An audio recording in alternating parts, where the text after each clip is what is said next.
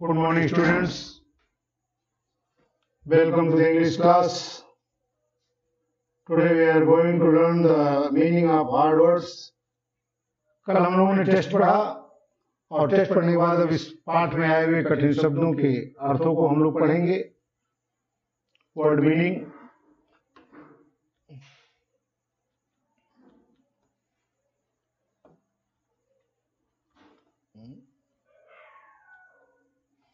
Sports, खेलकूद, still हमेशा dominated प्रभावी यूजुअली प्रायः इनकरेज प्रोत्साहित किया, पुष्ट धकेल दिया वर्च्यूज माने गुण होम मेकर घर संभालने वाली मोटिवेटेड प्रेरित टेंड माने ध्यान देना ग्लोरियस टाइटल्स पदवी मेडल पद, पदक या तमगा स्टेटस समाज में किसी व्यक्ति का महत्व या स्थान इक्विवेलेंट माने बराबर समान समान।